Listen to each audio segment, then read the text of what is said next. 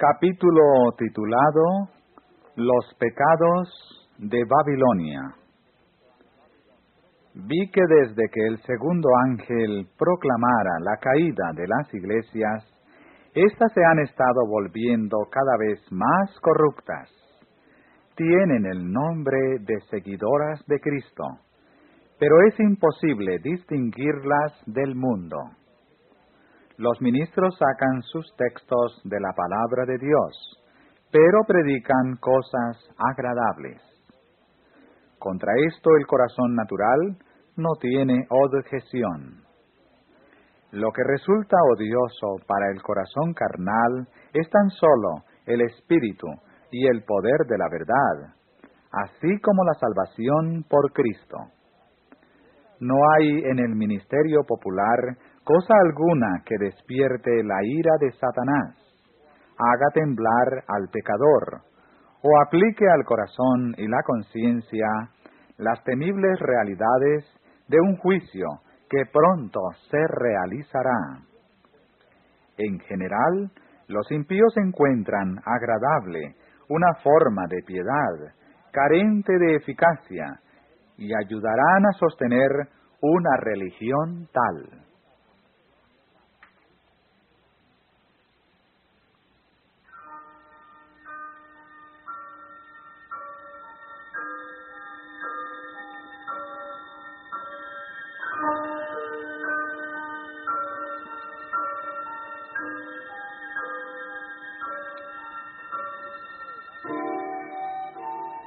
Dijo el ángel, nada que sea menos que toda la armadura de justicia puede habilitar al hombre para vencer las potestades de las tinieblas y retener la victoria sobre ellas. Satanás ha tomado plena posesión de las iglesias en conjunto. Se ponen de relieve los dichos y las obras de los hombres, en vez de las claras y cortantes verdades de la palabra de Dios. El espíritu y la amistad del mundo son enemistad hacia Dios. Cuando la verdad en su sencillez y fortaleza, tal cual es en Jesús, se levanta frente al espíritu del mundo, despierta enseguida el espíritu de persecución muchísimos que profesan ser cristianos no han conocido a Dios. El corazón natural no ha sido cambiado y el ánimo carnal permanece en enemistad con Dios. Aquellos son siervos fieles de Satanás, a pesar de haber asumido otro nombre.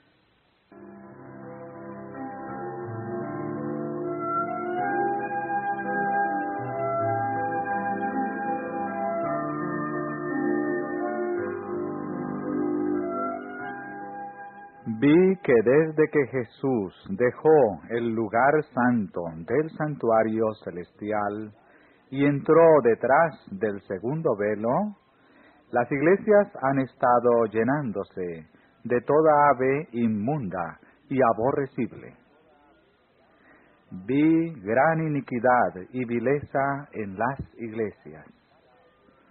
Sin embargo, sus miembros profesan ser cristianos la profesión que hacen, sus oraciones y sus exhortaciones son abominación a la vista de Dios.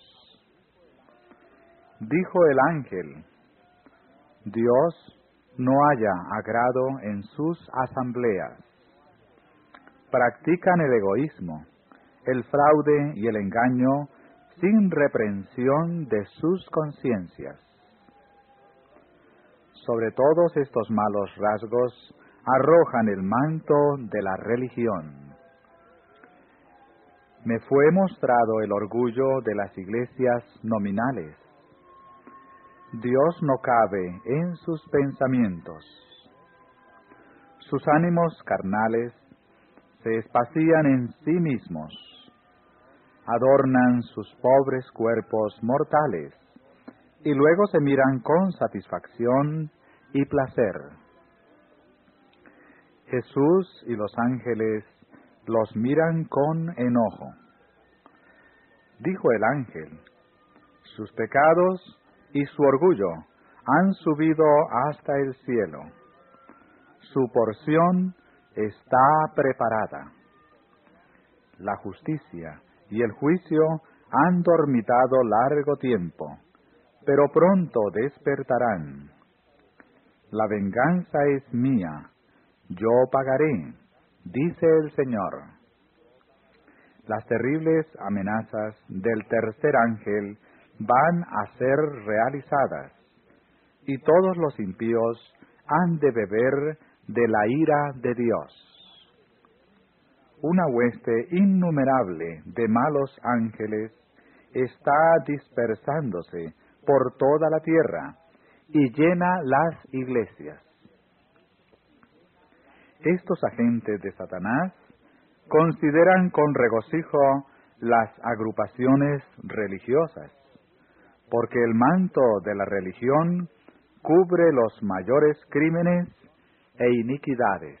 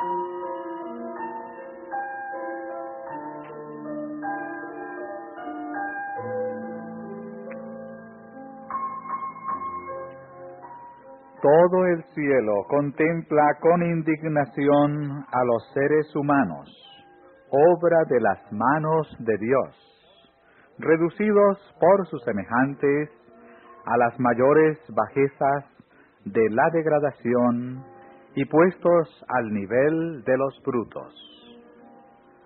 Personas que profesan seguir al amado Salvador, cuya compasión se despertó siempre que viera la desgracia humana, participan activamente en ese enorme y gravoso pecado. Trafican con esclavos y con las almas de los hombres. La agonía humana es trasladada de lugar en lugar para ser comprada y vendida. Los ángeles han tomado nota de todo esto y está escrito en el libro.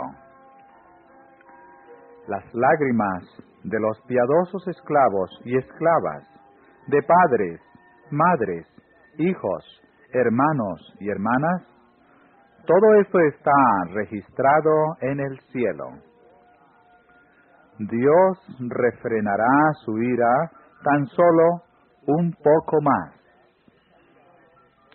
esa ira arde contra esta nación y especialmente contra las organizaciones religiosas que han sancionado este terrible tráfico y han participado ellas mismas en él.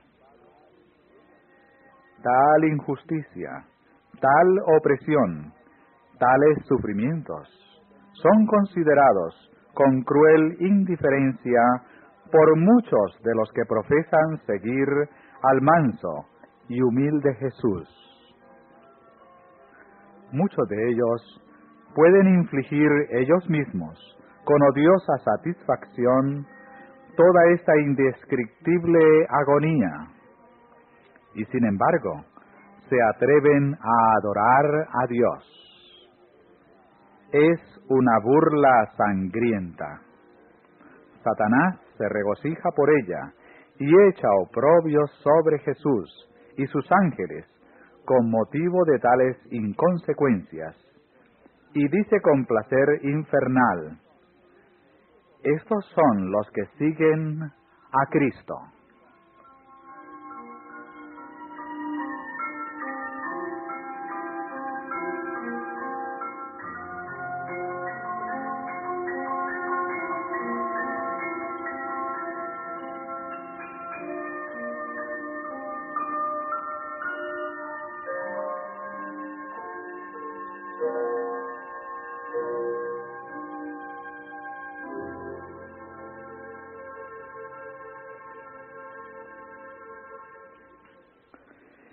Estos profesos cristianos leen lo referente a los sufrimientos de los mártires y les corren lágrimas por las mejillas. Se admiran de que los hombres pudiesen endurecerse al punto de practicar tales crueldades para con sus semejantes. Sin embargo, los que piensan y hablan así siguen al mismo tiempo manteniendo seres humanos en la esclavitud. Y no es esto todo.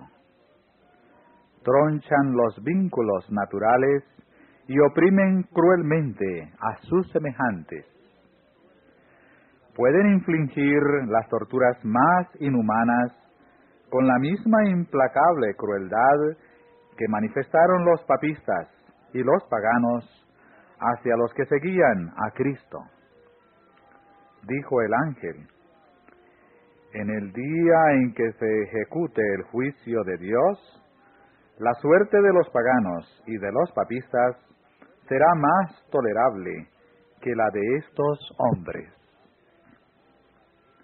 Los clamores de los oprimidos han llegado hasta el cielo, y los ángeles se quedan asombrados frente a los indecibles y agonizantes sufrimientos que el hombre, formado a la imagen de su Hacedor, inflige a sus semejantes. Dijo el ángel, los nombres de los opresores están escritos con sangre, cruzados por azotes e inundados por las ardientes lágrimas de agonía que han derramado los dolientes. La ira de Dios no cesará antes de haber hecho beber a esta tierra de luz las heces de la copa de su ira, antes de que haya recompensado a Babilonia al doble. Dadle a ella como os ha dado, y pagadle el doble según sus obras. En el cáliz en que ella preparó bebida, preparadle a ella el doble.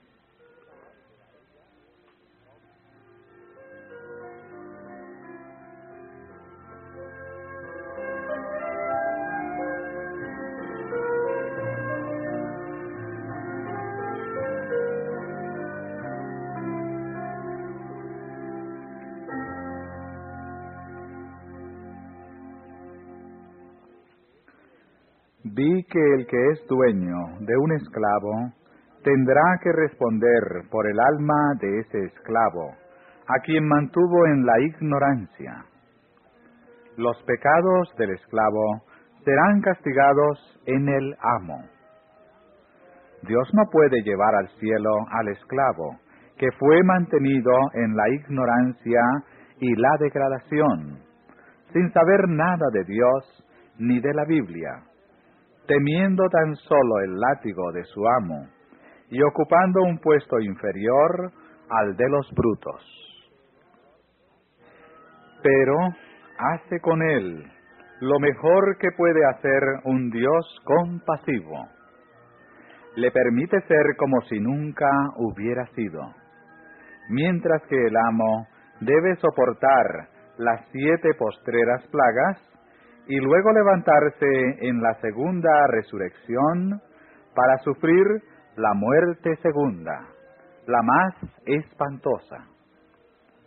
Entonces, la justicia de Dios estará satisfecha